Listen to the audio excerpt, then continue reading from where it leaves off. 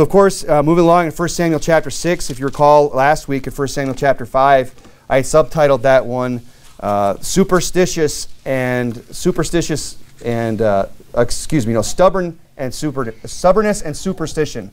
And we talked about how the Philistines were a very stubborn and superstitious people, that God had been judging them and judging them and judging them.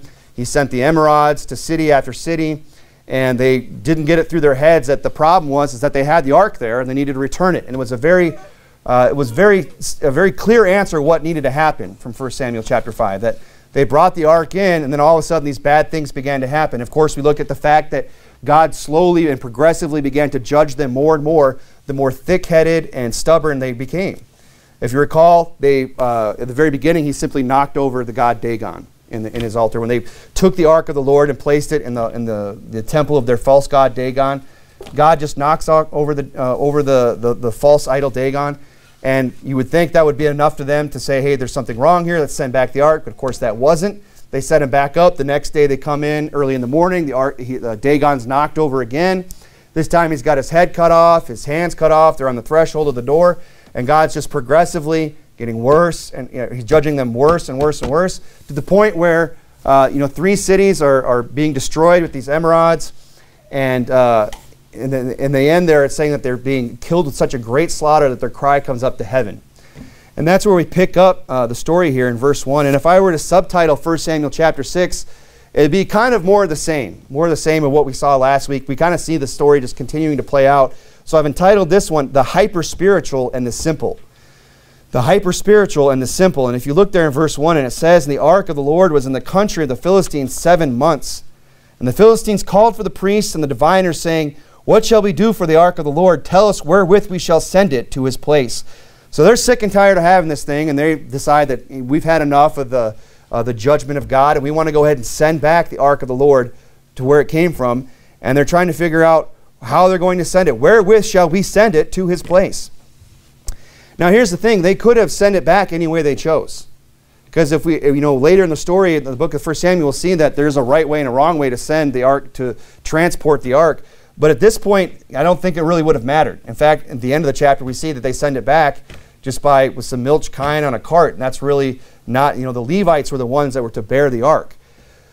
The point being here is that the, the Philistines, the people, they could have sent the ark back. The point was is that they needed to send the ark back whether they wanted to send it, you know, UPS or FedEx or get some milch kine together or whatever it is.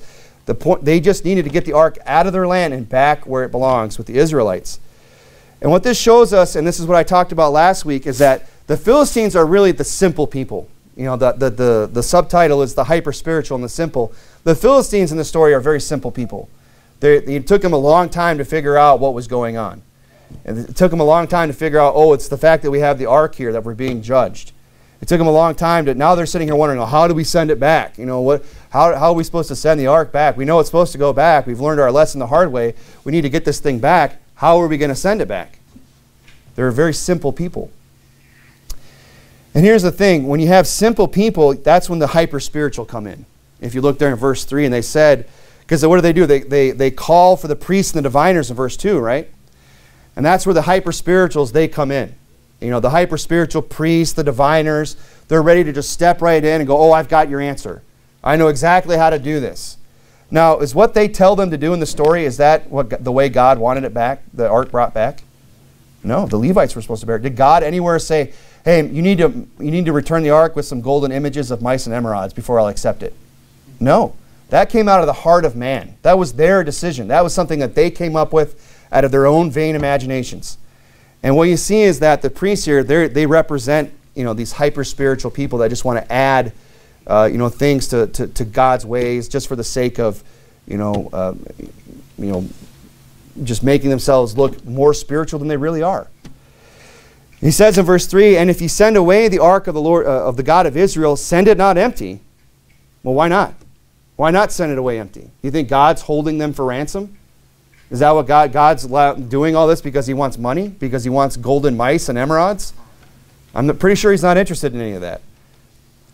He's saying, Send it away not empty, but in any wise return him a trespass offering, and then ye shall be healed. And it shall be known unto you why his hand is not removed from you. So you have these simple people that can't just figure out, just, just send the ark back. It's that simple.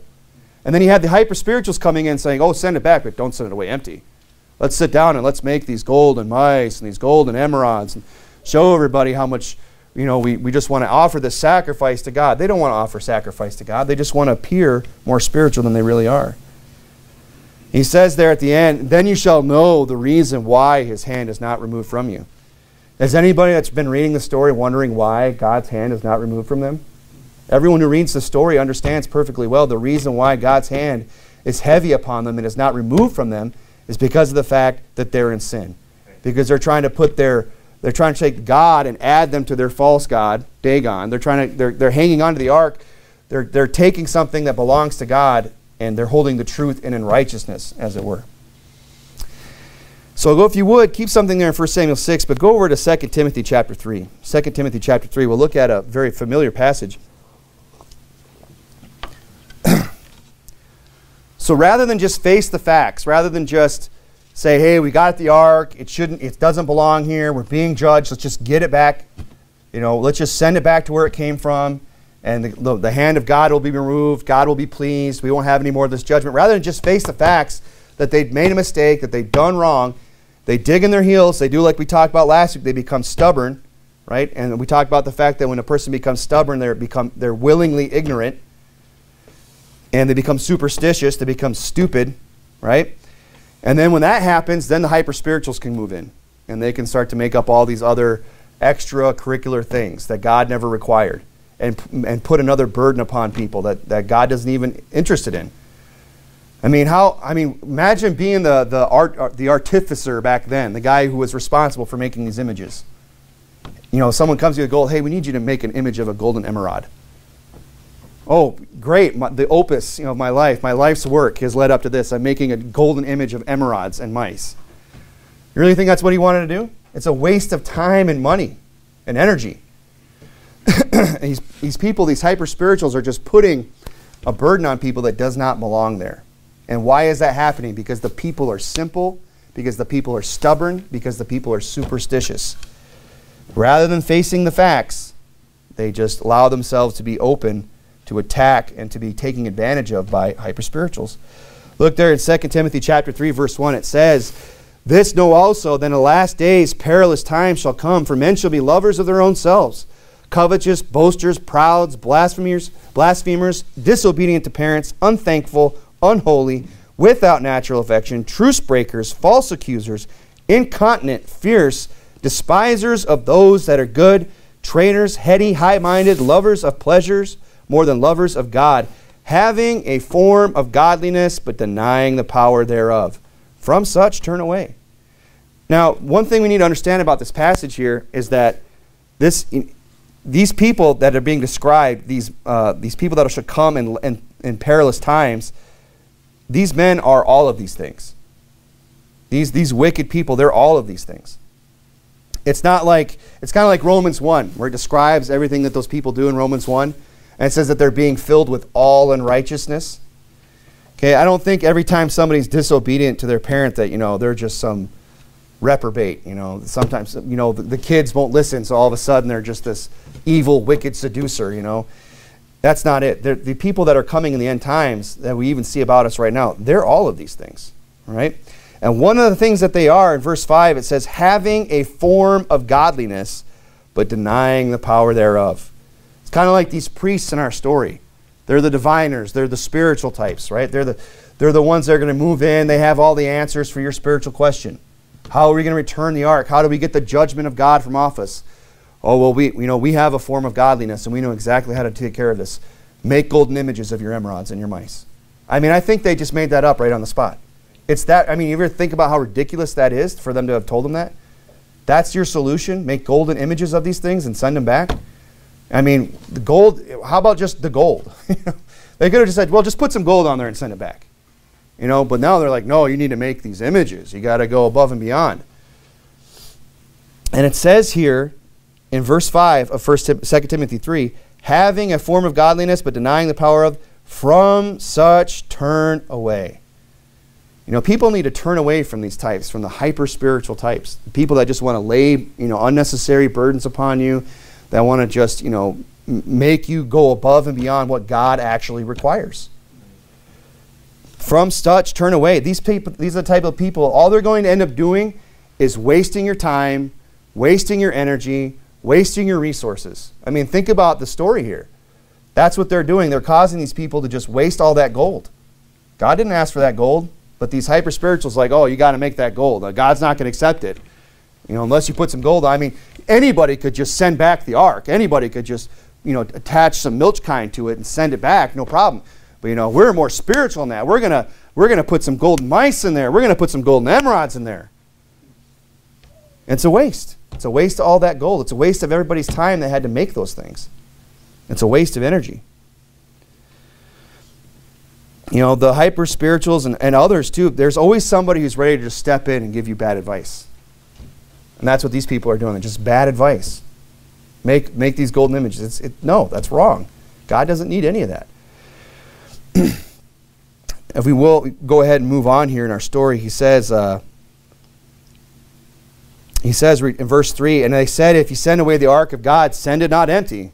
Because well, that'd be a real shame, wouldn't it? That'd just be terrible that, that God just got what he wanted, which was the ark. Send it not empty. But in any way, in any wise, return him a trespass offering. So here they are, they're saying, well, we're going to atone ourselves for God. And what are these people? These people are unsaved, wicked heathens. That's what the Philistines are. We saw last week that they're just, they've been worshiping, you know, this false God you know, for just generations, despite all the, the terrible things that happened as a result. You know, Dagon was there. They were worshiping Dagon when, Sam, when uh, Samson knocked down the pillars and killed them all. You know, in the, this story happens where they're setting up the, the Ark of God in the temple of Dagon. All these terrible things happen. They keep on worshiping Dagon. Then they kill, when they kill Saul, where do they pin up his body and his head? In the temple, or they set up his head in the temple of Dagon. So these people are wicked, they're, unhe- they're heathens, they're unsaved, but they're going to tell these people how to, you know, appease God, how to return a trespass offering.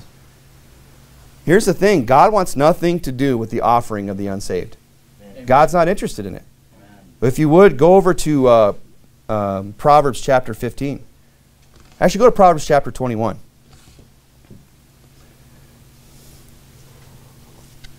And there's a lot of people today, you know, maybe even well intentioned people whose hearts, you know, are in the right place, quote unquote, or maybe not, that are adding, you know, trying to make sacrifices to God that He never asked for and that He's not interested in.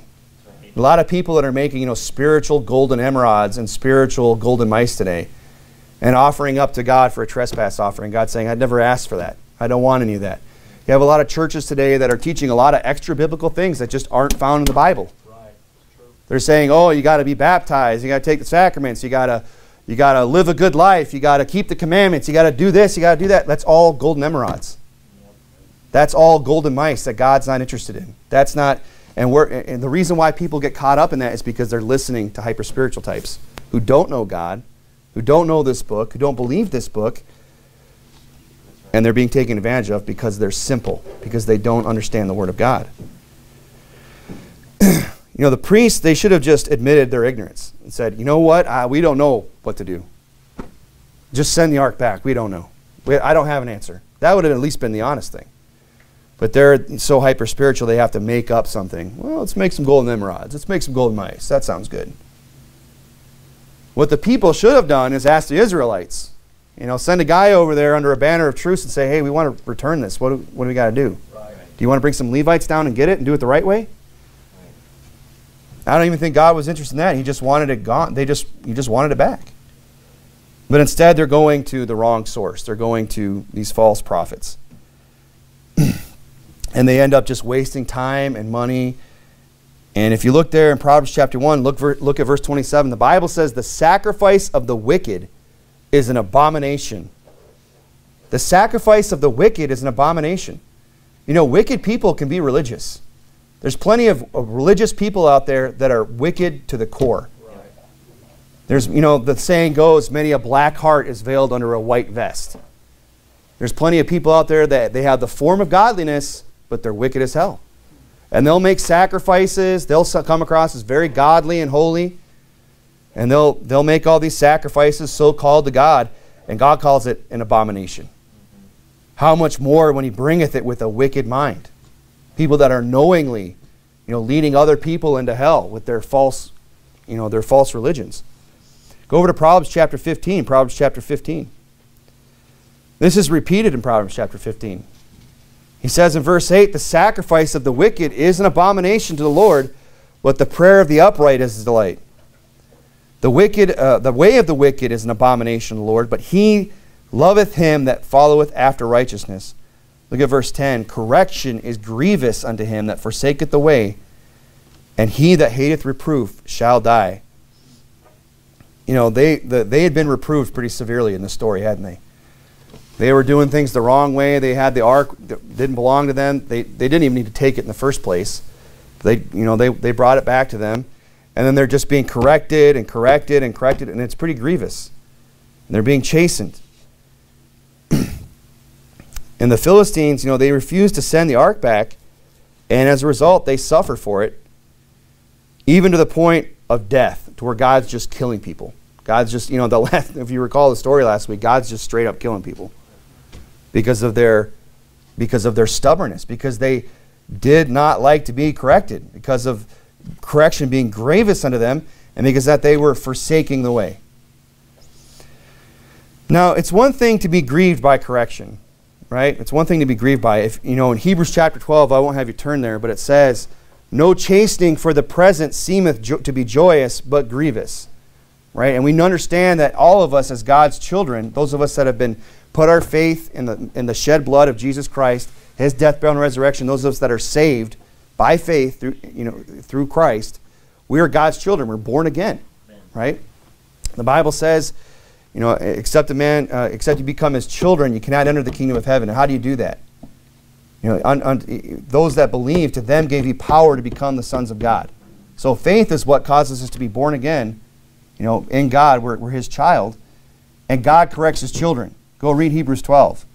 There's, you know, every son whom he receive, he chasteneth every son whom he receiveth, and no son, there is no son whom he chasteneth not. And if you be without chastisement, then ye are bastards and not sons. But it says here in Hebrews 12 that no chastening for the present, the present seemeth to be joyous. Look, all of, all of us as God's children that are born again are going to go through some kind of chastening because nobody in this room is perfect. I mean, correct me if I'm wrong. If anybody wants to raise their hand and say, I'm perfect, well, I'll call you a liar on the spot. But no one here is perfect, and we're all going to be chasing, you know, some more than others because some people learn at different rates or, you know, don't don't learn the first time through. And but it, to whatever degree we're we're chasing, it's not joyous. It says it's grievous, isn't it? It's one thing to be to go through chastening and to be grievous to you. It goes on and says, afterward it yieldeth the peaceable fruit of righteousness unto them which are exercised thereby. So God chastens us not because He's just trying to get us kicks, but because in the long run, it yieldeth the peaceable fruit of righteousness. God starts to chasten us. We get the sin out of our life. We start living right. We start living for the Lord, doing, you know, keeping His commandments, so on and so forth, and we have joy and peace from that. You know, that's that's the end of that. So it's one thing to be grieved by correction, but it's another thing to hate reproof. It said there in our verse in Proverbs 15 and verse 10, correction is grievous unto him that forsaketh the way, and he that hateth reproof shall die. You know, it's one thing to be corrected and having, oh man, that's grievous. It's no fun. You know, the, the, no kid is looking forward to a spanking. If you know, if they have any sense in their head, they're not looking forward to that. It's grievous. But it's another thing to hate reproof.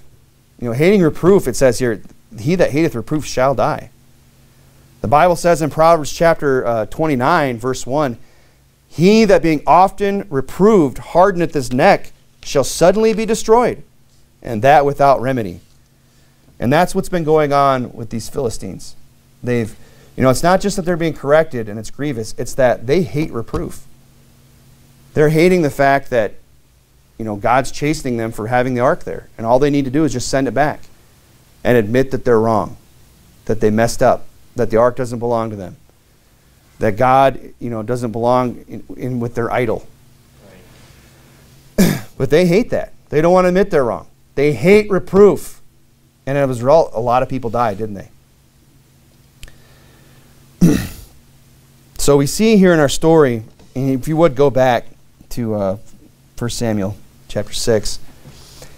The, the priests, you know, these are the, these are the hyper spiritual. And the people, they're very simple. They're, they're not, they, it took them a while to kind of get the message from God. And God, if, you know, was very patient with them. God was kind of gently at the beginning rebuking them, and then it got really severe, and they should have been able to figure this out. it says in, uh, in Romans chapter 16, verse 17, Now, brethren, he says, Now I beseech you, brethren, mark them which cause divisions and offenses contrary to the doctrine which ye have learned, and avoid them. For they are such that, uh, that serve not our Lord Jesus Christ, but their own belly, and by good words and fair speeches deceive the hearts of the simple. You see, sim- simple people, and simple just meaning not having the knowledge that they need to have, that they should have, being ignorant. They are they people who are simple leave themselves open to being deceived. and hyper spiritual people, you know, these false prophets like the Philistines, they love to move in and take advantage of people like that and get them to do all kinds of stupid things that they don't need to do and waste everybody's time and energy and, and money and so on and so forth. Wicked people take advantage of simple people. They prey upon the weak. That's why he's saying, you know, mark them which cause divisions and uh, offenses contrary to the doctrine which you have learned and avoid them. Just avoid these type of people. For they are such that serve not our Lord Jesus Christ. They might come across as godly, they might come across as spiritual, they might come across as religious, but they're not serving our Lord Jesus Christ. That's not where their heart is. It goes on and says, but their own belly. They're the types that just want to just satisfy their own lusts by deceiving the simple, by deceiving the hearts of the simple. By getting them, I'm just going to preach lies and tell you lies and put burdens upon you so that you'll just put money in the, in the plate. And then I can just live, you know, high on the hog and take advantage of, of people. And, said, and how do they do that? By good words and fair speeches. That's how they do it. Oh, you need to make golden emerods. You need to make golden mice. Yeah, that sounds good. Gold. Yeah, God would be really impressed with that. You're right. I don't think I'll do that. You're simple. You're just falling for a lie. the Bible says, Beloved, believe not every spirit, but try the spirits, whether they are of God, because many false prophets are going out into the world. Look, there's a lot of people out there today, a lot of that are coming in the name of Christ, a lot of antichrists, a lot of spirits that are out there, a lot of false prophets that are gone out in the world, and they're looking to deceive the hearts of the simple. Our job is to try those spirits. And how do we try them? With the Word of God. We listen to what the preacher or whoever is, is trying to tell us something and we see if it lines up with this book. We're like the Bereans, who are more noble than those which are in Thessalonica. Why? Because they search the scriptures daily to see whether these things be so. I mean, Paul told the Corinthians, he said, I speak as to wise men. Judge ye what I say. What's going to make you wise spiritually today is if you judge what is said. If you judge what I say. Just like Paul wanted his, the people that he was preaching to to judge what he said. You know, I'm imploring you tonight, judge me. You know, I'm not going to be one of these people, oh, don't judge. No, go ahead and judge me. Go ahead and take the word of God and make sure what I'm saying lines up with it. Because that's going to keep you from being simple. That's what's going to keep you from being deceived. And we already, you know, 1 John 4 is clear. Many false prophets are gone in the world. You know, the warning of, of Romans 6, you know, that there, there are people out there that want to serve their own belly. And good words, fair speeches, they're going to say nice things. It's going to sound real good. You know, they're going to have all the religious flair. It's going to be real impressive. But it's all there to deceive you, take advantage of you, and lead throngs of people into hell. And the people that fall for it are the simple, the people who don't take the time to make sure it lines up with the Word of God. And try the spirits. Wise people cannot be taken advantage of. You can't pull one over on them. People who read the Bible, people who, who are born again and spirit and have the Spirit of God in them, leading them into all truth, and reading this book every day and knowing what it says, you're not, they're not going to get deceived. Or it's going to be really hard to do it. And they, they probably won't stay deceived. They'll figure it out as long as they keep reading, keep studying, and keep discerning. The Bible says, The simple believeth every word, but the prudent looketh well to his going. The Philistines are a perfect example of that in the story. They just believe every word. Oh, make some golden emerods. That makes a lot of sense. You know, no, th- th- there's no need for emerods.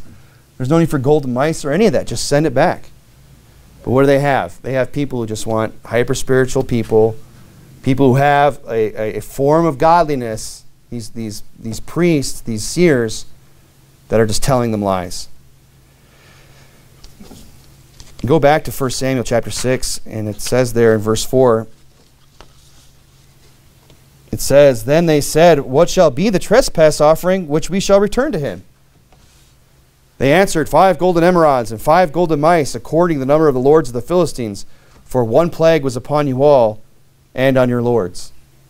So they don't, you know, and then uh, they go along with this. Simple people, they get deceived and they just go along with it. And this is bad advice. This is bad doctrine. And that's the danger of people who are stubborn and people who are just you know not willing to admit that they're wrong as i mentioned last week is that other people around them get hurt. And when people are simple other people around them get hurt. They get hurt everybody else around them gets hurt as well. They end up just wasting all this time. It says there in verse 5 wherefore ye shall make images of your, your emerods and images of your mice that mar the land and ye shall give glory unto the god of israel. Peradventure he will lighten his hand from off you and from your gods and from off your land. Now that sounds like a real nice speech doesn't it but it's, it's just deception. It's just lies. It's just made up. Wherefore do you harden your hearts as the Egyptians, and kill and let and, and, and, and excuse me and Pharaoh uh, and Pharaoh hardened their hearts when he had wrought wrong, uh, wrongfully, wonderfully among them. Uh, did they not let the people go and they departed? So now he's, they're kind of guilt tripping them. You guys are so hard hearted.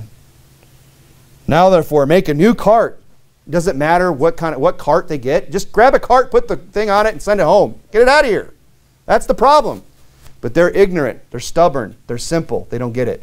And they're being taken advantage of by these hyper spiritual priests. Make a new cart and take two milch kinds. Not just any milch kinds, but two uh, ones, uh, two that uh, where no ha- yoke hath come on them, right? On which there hath no uh, come no yoke. So now it's getting real specific. It's like, man, well, first of all, someone's going to have to sacrifice these. You think they're just going to, there's just, you know, these, these kind that have had no yoke on just laying around? Somebody's going to have to give that up. Maybe somebody was planning on, you know, using that animal for their family, to feed their family, and so on and so forth. Now somebody's got to give these, oh, I guess, well, that's what he said to do. I mean, after all, you know, he's the priest. He must know what he's talking about. Let me just give up my, you know, give them up. Man, my new cart. You want my cart too? My brand new one? Just got this cart from the dealership.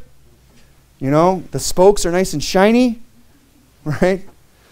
And now you want me to just give this thing up? Yep. Because if you don't, you know, you're just a hard hearted, wicked person.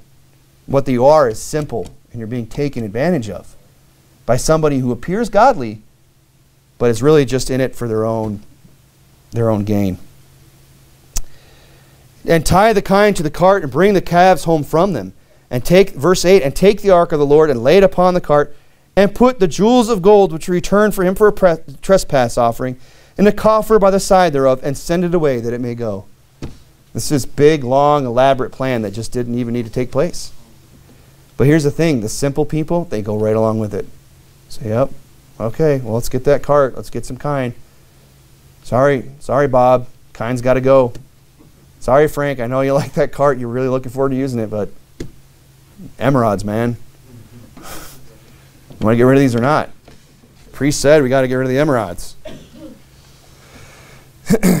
and look, all of this is just from the imaginations of the priests.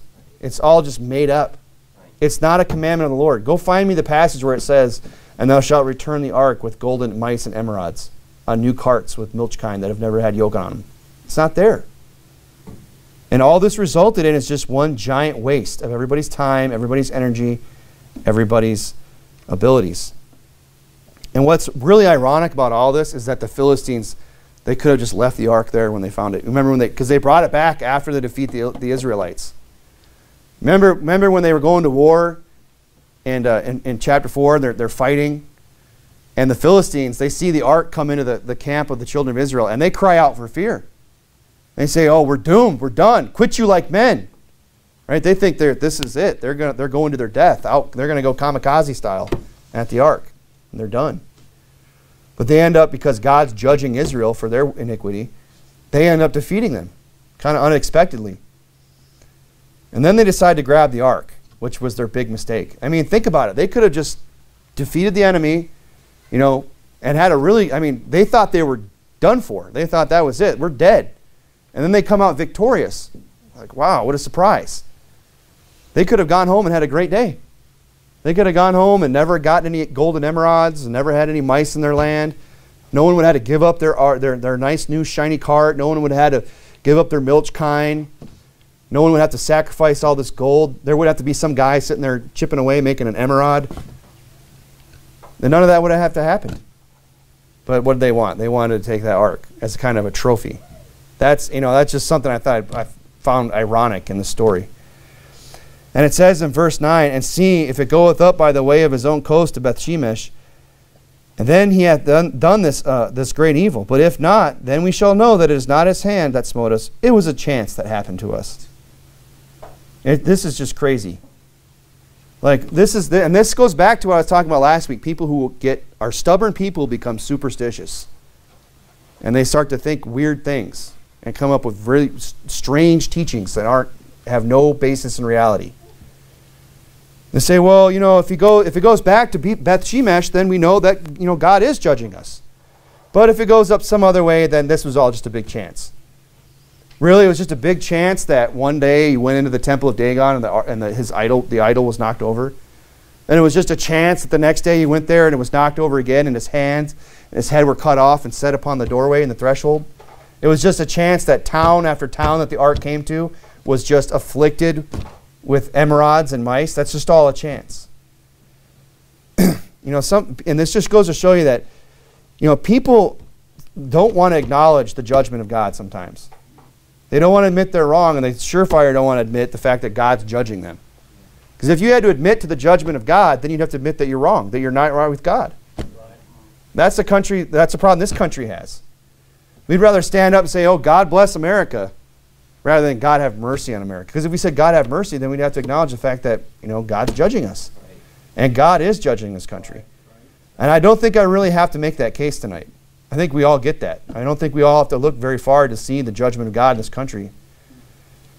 and people don't want to admit it today because doing so is an admission of guilt.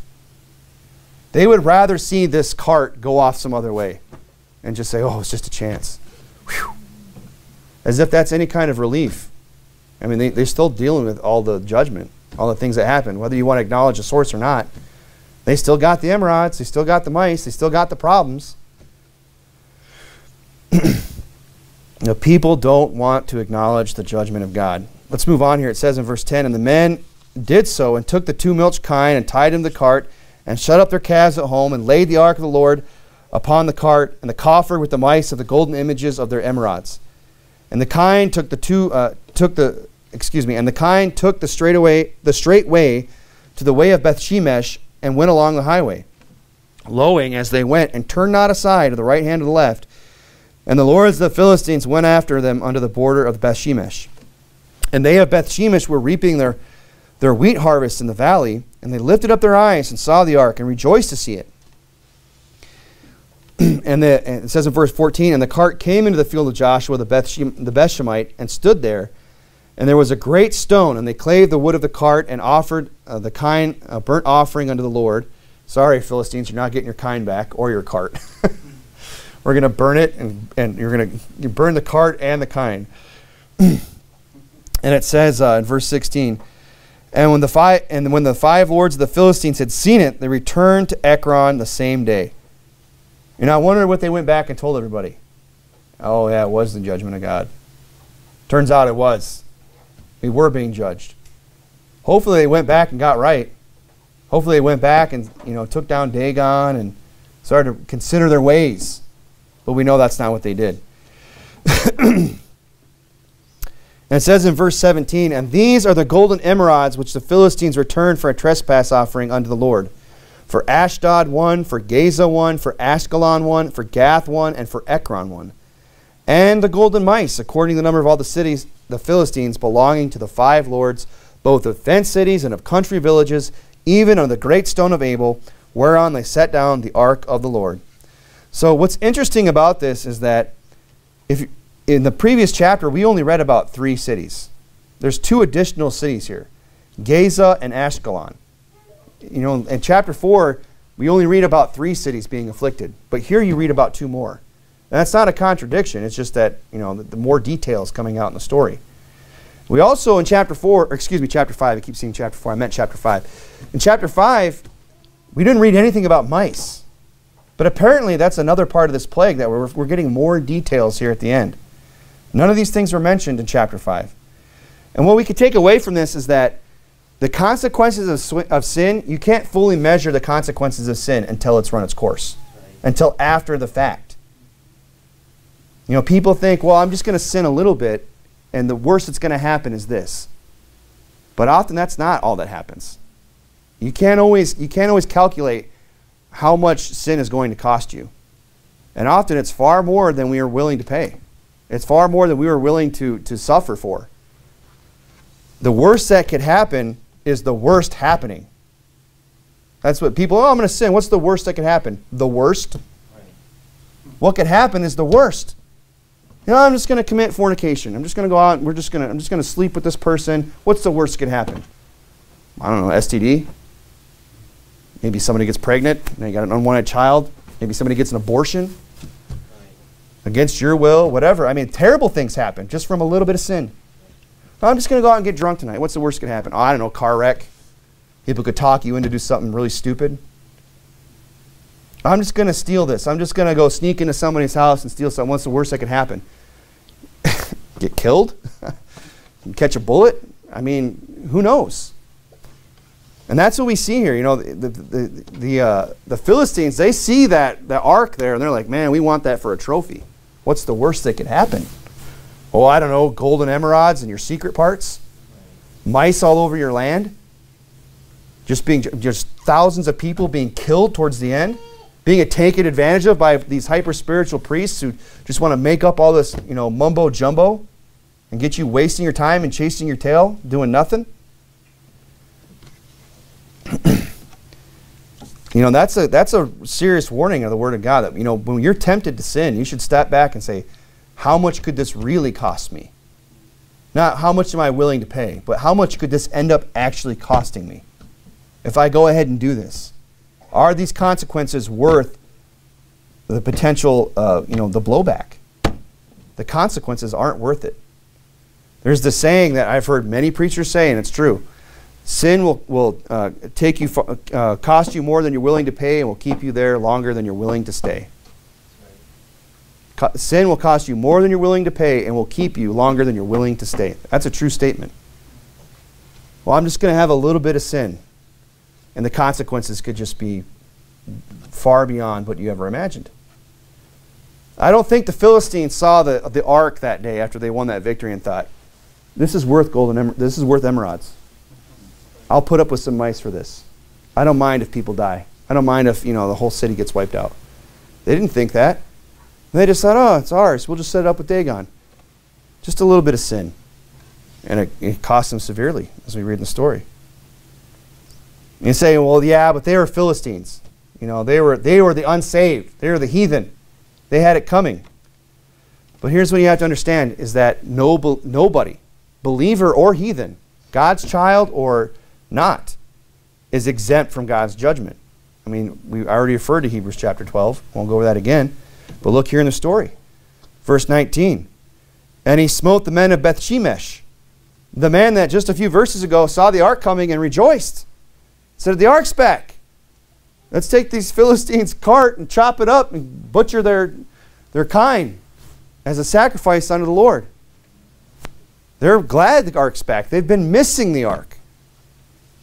And it says there that he, meaning God, smote the men of Beth Shemesh, God's people. Why? Because they had looked into the ark of the Lord. Did they set it up in some temple next to some false god? Nope. All they did is say, well, let's just take a peek. Let's just look.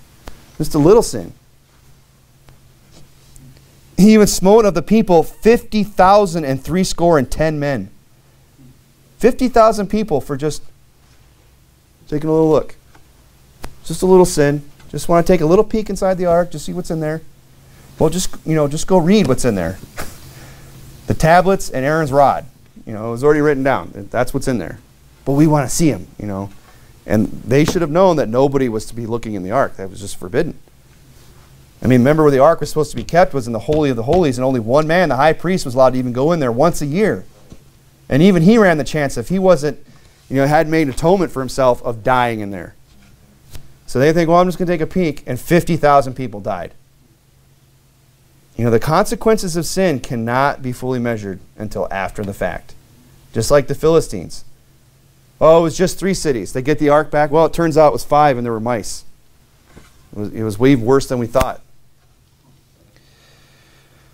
And what's interesting about this is that, you know, in, at the end of verse uh, 19 there, it says the Lord had smitten many of the people with a great slaughter. I mean, 50,000 people are dead. And what that shows us is that, that the punishment is even, even swifter and more severe for God's people than it was for the Philistines. I mean, I don't know how many people died of all the, of the Philistines, but I don't think it was 50,000.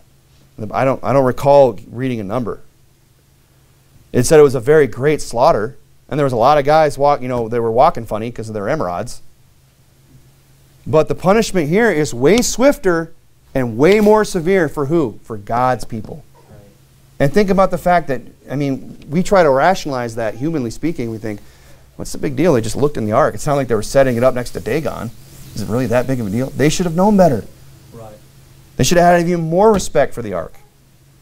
I mean, they started out right. Whoa, let's let's sacrifice here. Let's break up the cart. Let's make a sacrifice. Put this on the stone and talk about what we're going to do here. Because they're, you know, God obviously understands the circumstances, but you know, curiosity killed the cat.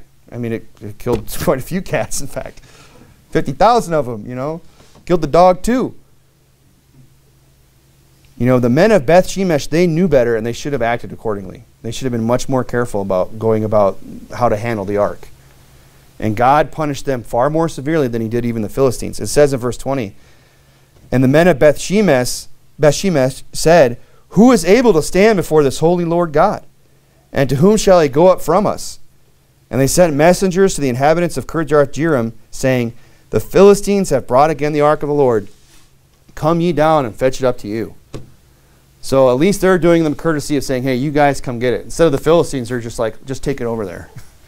the Philistines are like, oh, we're getting smote with emerods, take it over to Gath. Don't even tell them it's coming. You know, take it to the next city and they can deal with it. At least these guys are saying, hey, come down and get this and do things right. So what's what's the lessons we can learn from this chapter here is one, don't be simple. Don't be a simple person. You know, it is, the, it is not good that the soul be without knowledge. You know, a wise man increaseth learning, the Bible says. You know, we, we, instead of wasting time on frivolous and vain things, we should be learning.